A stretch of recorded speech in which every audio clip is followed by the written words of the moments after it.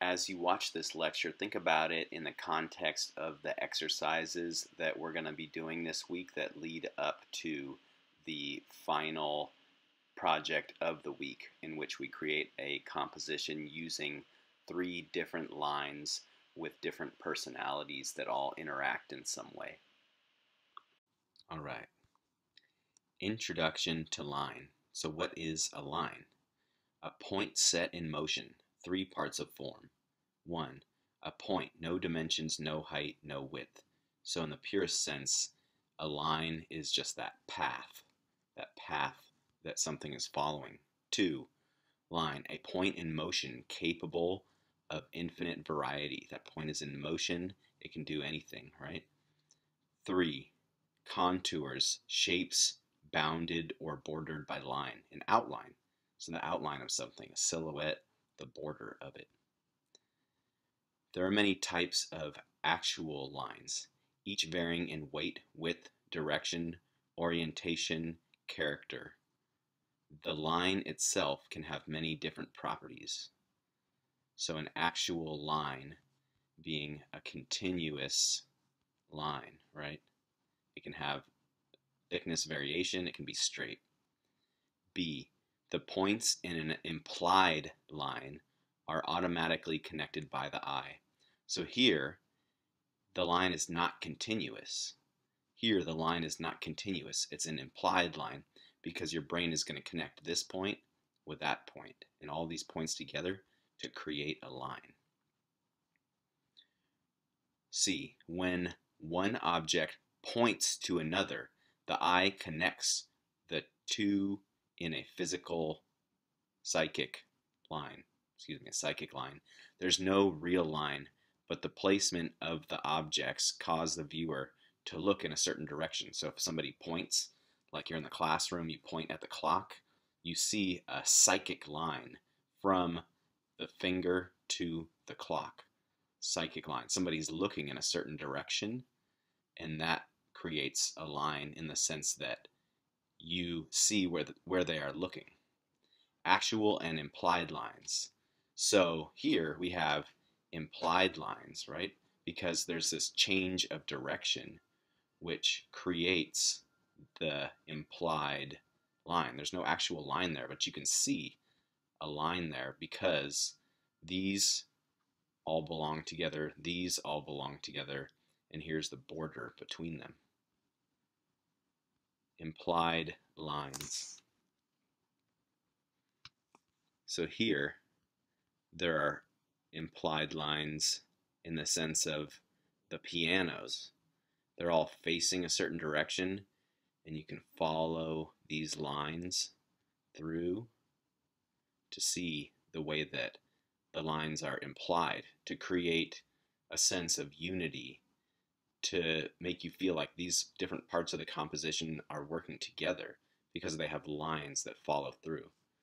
The lines of the stage, they're broken up, but you get a sense that these lines all belong together. So you could look for your own idea of how lines are implied in this composition.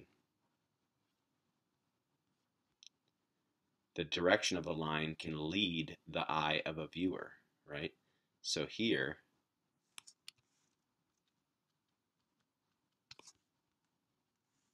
you can look and see sort of a psychic line and implied line happening.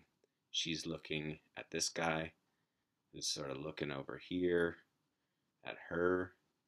She's looking back this way. She's looking back this way, kind of leads you back there. Maybe it leads you to the elbow here. And then to his waistband there. And then it could come around here. And maybe it comes up here. So notice how this composition has these different implied lines and then psychic lines that lead you around the image. Actual, implied, and psychic lines organize the composition.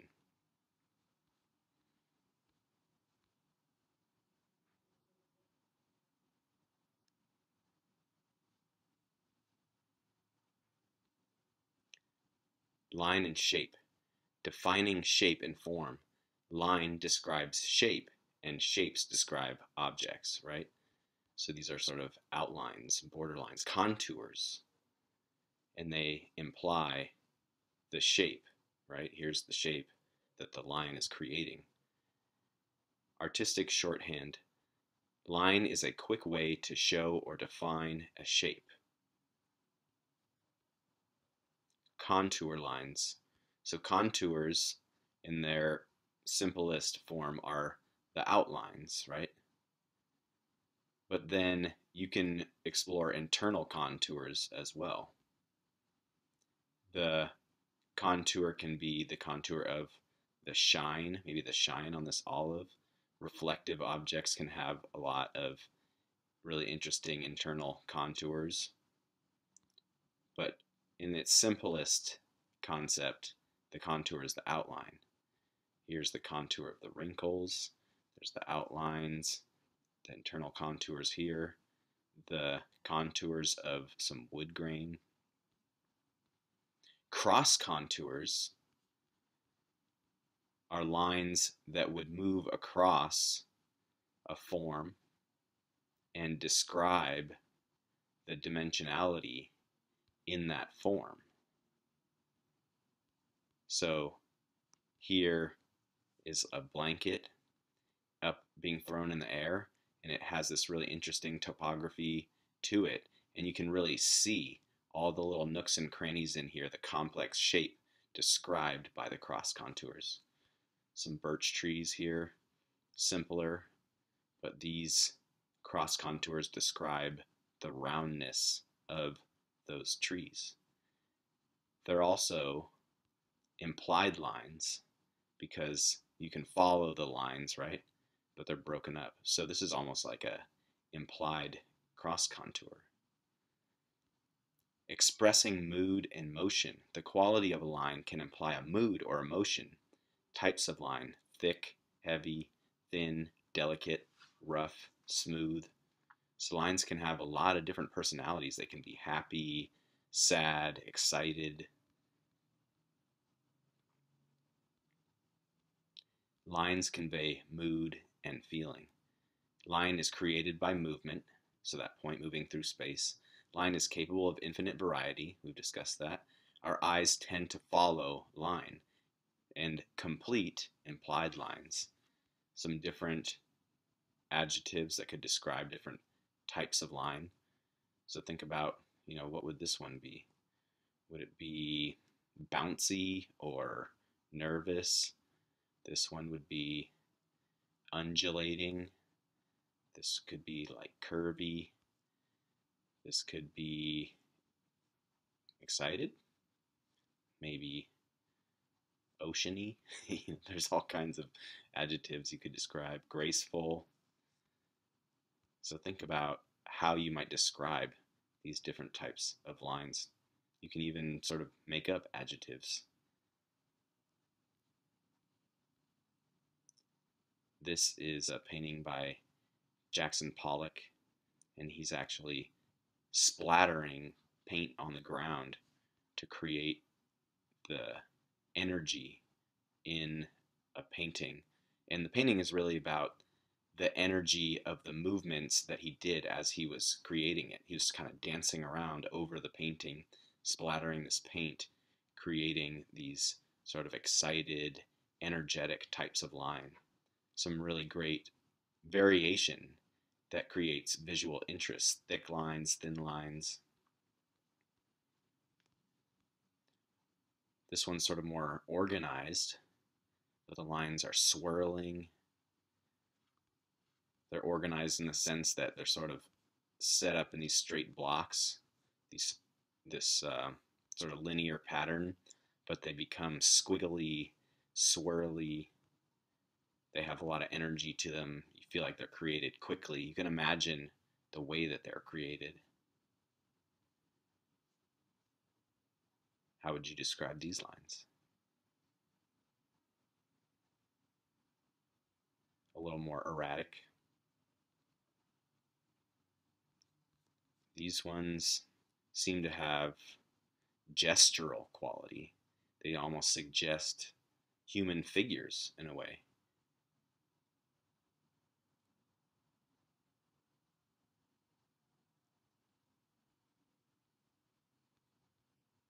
What about these lines?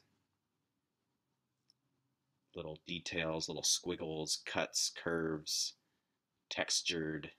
You can feel it it's kind of coarse, coarse lines, staccato, maybe sketchy lines. I think this is Francis Bacon here, this artist. These sketchy lines in the background, sort of architectural, geometric.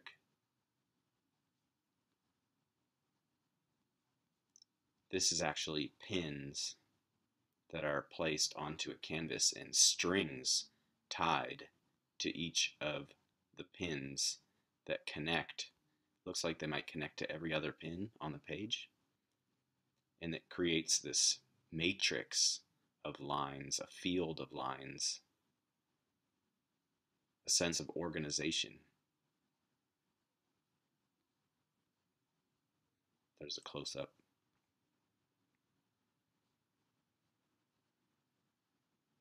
very organized lines here, straight, um, obsessive maybe.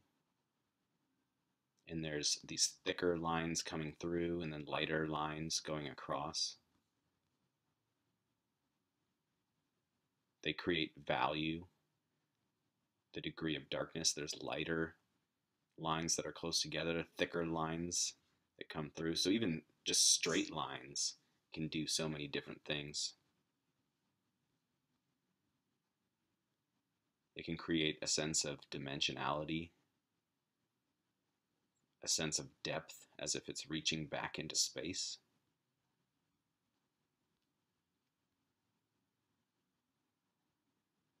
This is made of wire or maybe some kind of uh, rods that are welded together and how they affect the space they're actually lines in a physical space that change that space. A sense of depth again here.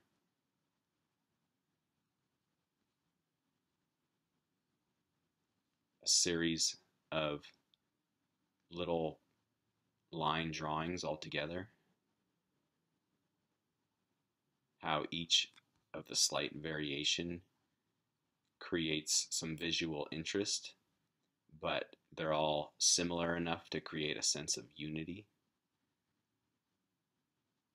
And then your eye is drawn to the lines that are different. Your eye is brought to the areas where you see different types of line. Sort of woven feeling.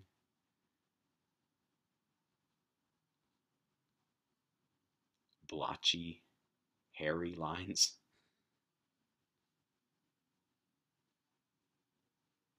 More kind of like spotty, moldy lines. Line density. So having all these lines together and creating a dense area that builds up and creates a sense of value, and then lighter lines up here that have a lighter value. So, value meaning lightness and darkness. So, ultimately, you'll use what you've learned from the different exercises that we're doing this week in order to create your final drawing, which I'll go into more detail on the uh, week one agenda video. But basically, you're going to create a composition that consists of three different lines. At least one line must touch the edge of the picture plane experiment with horizontal and vertical compositions. So you'll have done a series of exercises that will help you get to this stage.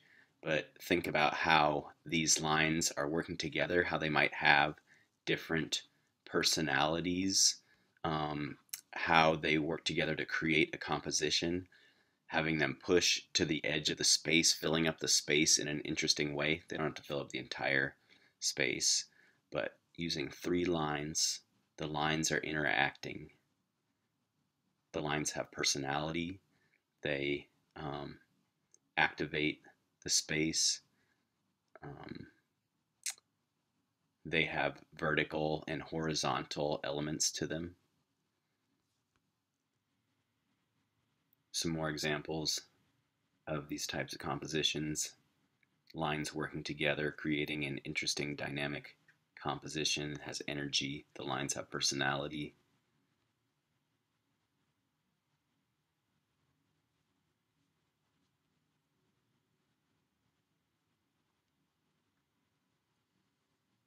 How do the lines interact?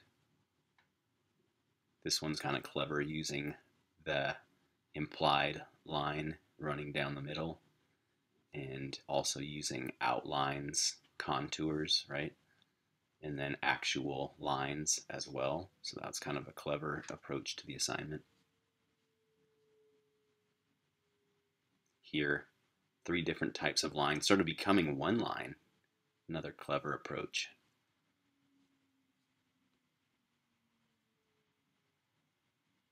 And you can interpret it in slightly different ways like you know this sort of center space running through the line is the line that's created by lines. This line has lines in it. So there's this is sort of a different take on three types of line.